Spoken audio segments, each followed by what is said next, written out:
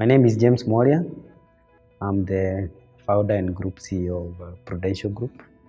Prudential Group is an investment and holding company for a number of subsidiary companies. Interest and investment in various uh, sectors of the economy, from ICT, financial services, real estate, petroleum and gas, and uh, recently we, set up a venture fund to invest in social enterprises. An entrepreneur or an investee is pitching or presenting their business in, uh, in my presence. Is uh, number one, they're able to identify what is what problem they are they are working to resolve in the society or in a particular market. And uh, from that idea, what are the possible solutions that they are proposing? And in those solutions, what is the size of the market?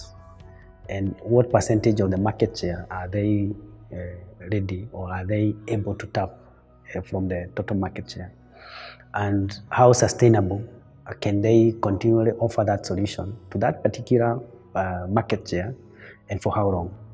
So when, when we put the, the, the, the number one consideration is that we, if we put our money or invest our money in that particular business, for how long can we do we have to wait for us to get the returns?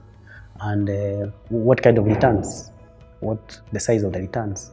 And how sustainably can we continually get those kind of returns in the long run? So if they're able to show the numbers, they're able to show the problem statement, they're able to show the market, they're able to show the value proposition that they're offering to their customers and how they will deliver that service or that product to their customers, that is the winning formula or a potential investor. Like in the case of today, we had uh, very good entrepreneurs with brilliant ideas. I remember one of the cases was the Afia, Afia Harvest and uh, they had a very brilliant idea.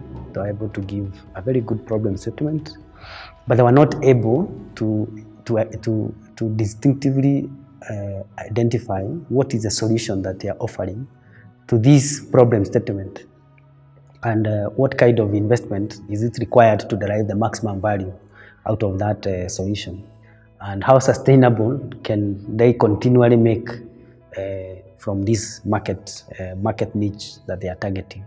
So that is what was lacking. The idea is good, the problem statement is there, but the entrepreneur is not able to convince an investor why they need to open their wallet to invest in that particular business.